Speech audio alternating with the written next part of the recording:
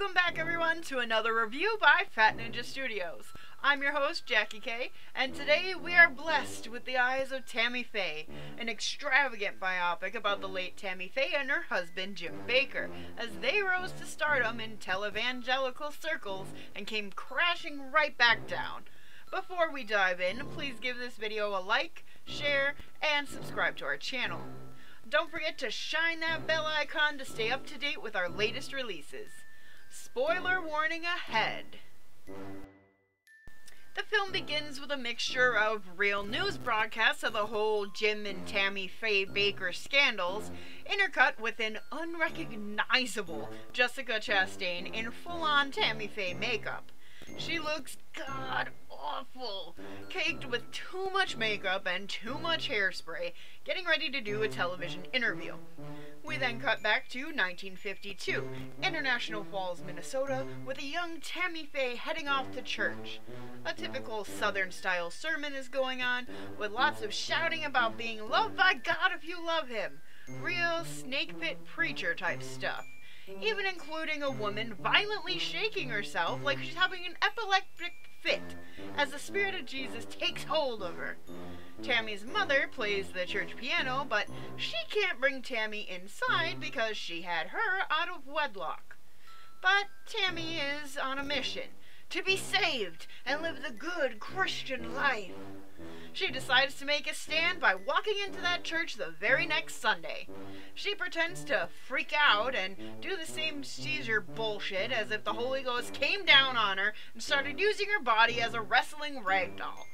This excites the preacher, who exclaims, She's finally saved! We cut to 1960, to the North Central Bible College in Minneapolis, where Jim Bakker is about to address a room full of people on his ideas of preaching in the modern day. Most people don't take him seriously, except, of course, Tammy Faye, who is instantly smitten with him. They have some weird pseudo-sexual proverbs exchanged before getting together for lunch. He reveals he wants to be a preacher because he almost killed someone while drunk driving, and that he used to want to be a rock star. After a little song and dance, they head back to his dorm and begin having sex. Like a week or two later, they're married, and she brings him home to meet her family. Her mom isn't so convinced that he isn't some shyster, especially since Tammy Faye apparently has a history of falling in love and getting used by a bunch of boys. But Tammy swears it's God's plan and they're gonna do great things. The following weeks, Tammy begins an interest in making puppets and thinks that she could use them to teach the Bible to young kids, while Jim blows a bunch of money on a car. They take their Bible puppet show on the road, hitting different chapels, and begin to make a name for themselves. One night, while in a hotel, Tammy wants to make love and notices that Jim isn't about it lately but is suddenly transfixed by a commercial for Reverend Pat Robertson, an early televangelist looking to raise money for his church. Jim hasn't been paying off the car though, so it was repossessed, and either by luck or the grace of God, they meet the television manager of Pat Robertson. We jump to 1969 at CBN headquarters in Virginia Beach, where Tammy and Jim's puppet show has been growing an audience for a few years. But while it seems that Tammy is happy and her dreams have come true, Jim is secretly trying to get more, mostly for himself. During her segment, he announces his own new show, the 700 Club. She has her own surprise though, as she's pregnant. A few months go by, the 700 Club has taken off, and it keeps Jim busy every night. Think the late show circuit, but with lots of Bible verses.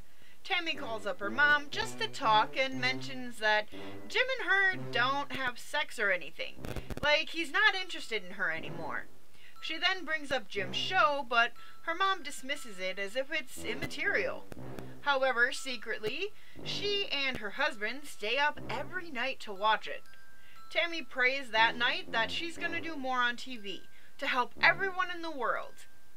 We then slide into 1971 at the Robertson Estate in Hot Springs, Virginia, which has acres of land and huge swimming pool, a manicured lawn, and all the bells and whistles. It's a hot summer day, and Robertson's wife is walking around greeting the guests in a brand new mink fur coat. Robertson corners Jim and tries to convince Jim to take time off to be with his family, while he would generously step in and host the 700 Club for a little while. At this point, Robertson has basically been cashing in on 85% of the earnings, and Jim knows this, and it angers him. Bring in Reverend Jerry Falwell Sr., host of the Old Time Gospel Hour and representing the Thomas Road Baptist Megachurch.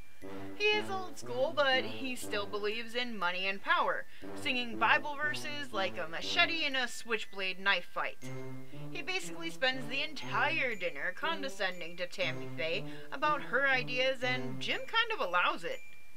He is also staunchly against liberalism, feminism, and homosexuality, as he views these all as major opponents to what the Bible teaches. Tammy, however, thinks everyone deserves to be saved by the Word of God. Jim and Tammy host a Christmas special bringing in big music guest stars from all over America, which serves as the biggest promotional event for their own network, PTL Studios in Charlotte, North Carolina. Tammy Faye Bakker even makes her own stamp in the recording world, releasing a few faith based albums by 1977, including a hit single, We Are Blessed.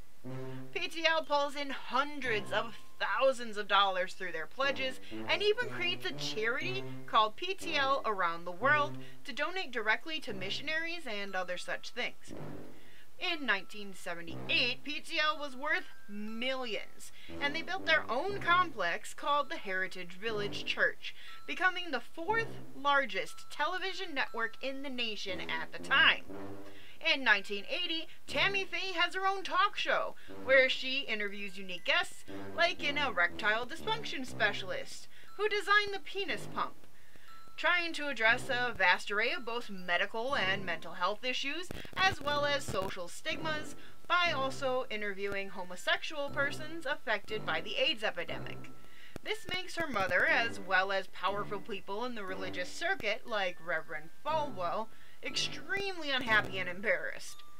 Jim and Tammy Faye now reside in a deluxe mansion, and they're rich with fancy imported clothes, jewelry, and expensive trinkets galore. But Tammy also begins to look a little rough around the edges, slowly morphing into layers of makeup and gaudy jewelry and fake tans to cover up the age wrinkles and stress marks. While Jim can't deny the growth of their network, and a huge part of that being indebted to his wife Tammy Faye, he is also beginning to feel the pressure of the powerful players and feels at constant war with himself if he should try to tame his wife or let her carry on as is. He's also hiding the fact that they're in some serious debt because Jim has never been good at paying the bills on time he still also doesn't show interest in his wife sexually, and that's mostly because he's secretly homosexual himself, having an affair with quite a few of the male staff members. This causes Tammy Faye to have her own affair with her music producer, Gary Paxton.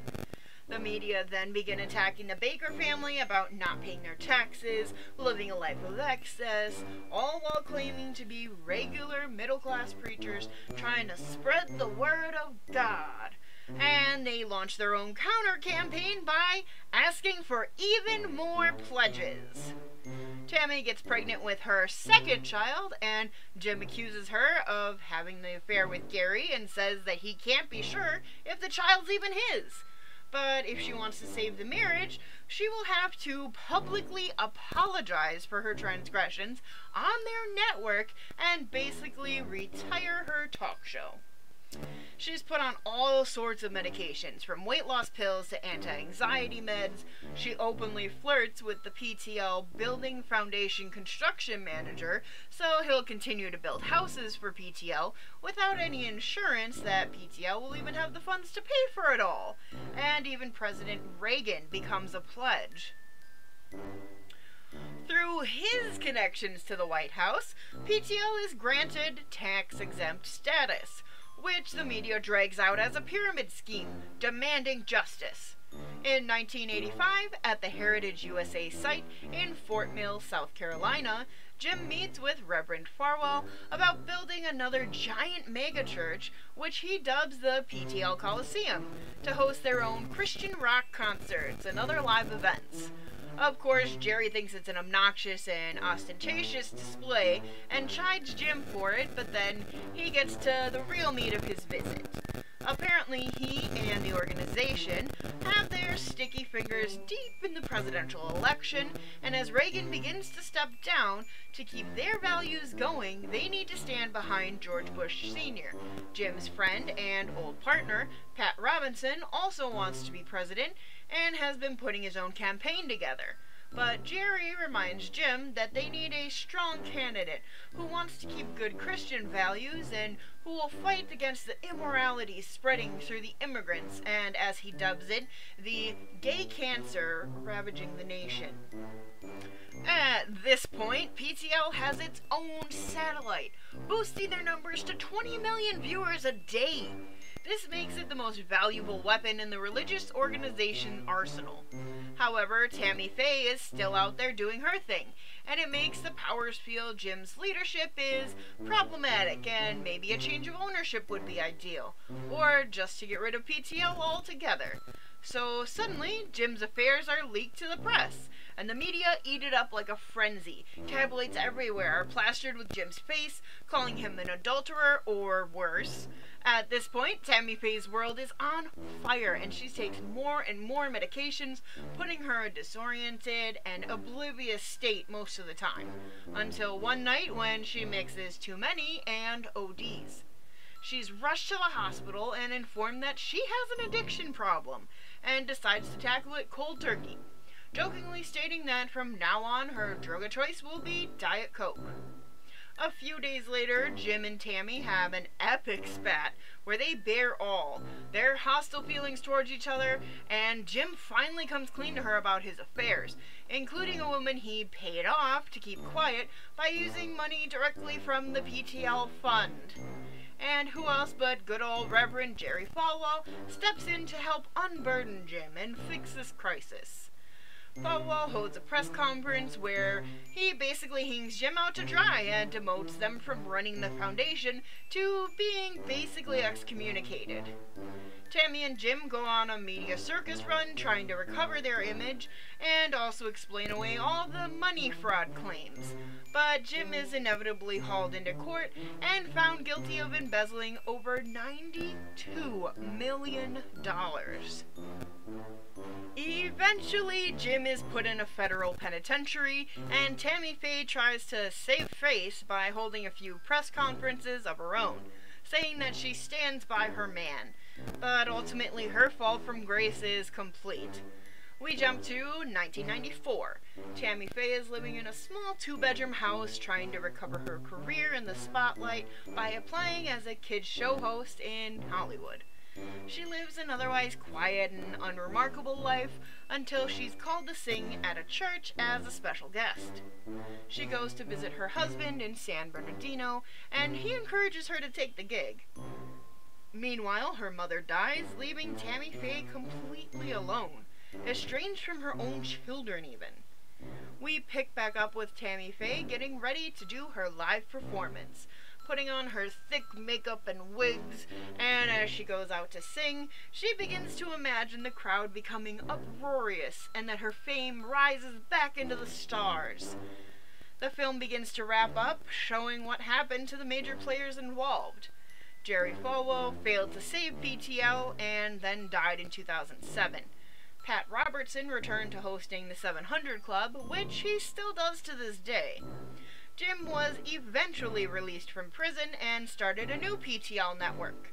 And Tammy Faye renewed her efforts by trying to spread God's word and embrace the homosexual community until her death in 2007. All in all, the film was pretty terrific. Not as glitzy or stylized like I, Tonya or Wolf of Wall Street, but it does glamorize a couple whose fall from grace hits so hard you almost feel hurt by it. Jessica Chastain does an absolutely stunning job as Tammy Faye, literally sinking into her character under pounds of caked on makeup and fake forced smiles. Andrew Garfield feels adequate in the role of Jim Bakker, lacking a bit of the charisma and charm of the real Jim, but overall he's a little man preaching the money out of people's pockets.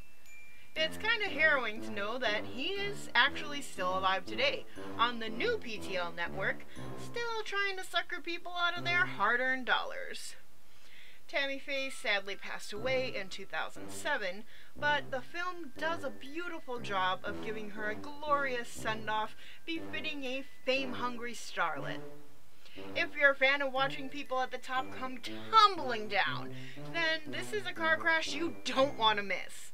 I give the film a solid 7 out of 10. There are moments where the film did drag on, and that can't be helped, as before they began their journey on PTL, they were a rather ordinary couple, if a bit delusional. The film does a fantastic job of overblowing the whole Christian organization, showing the differences between the folks who just believe in something versus those who are in control of what they believe and use it to benefit themselves. It also addresses the church versus the LGBT community, and while it paints her as some saint rallying against the Christian oppressors, the rest of it is handled pretty realistically. I want to thank you all for checking out the video. Please give it a like, share, and subscribe to our channel. If you want to reach out to us, you can do so on Twitter at StudiosFat or find us on Discord, linked below in the description. We also have a Patreon, so please check that out, also linked below.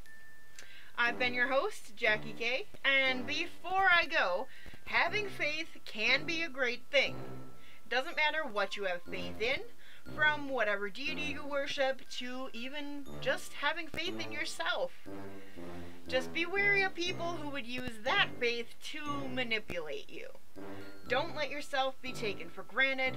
A smile and a handshake is easier to fake than actually helping in a cause, so make sure to always do your research. Thank you all, and as always, take care.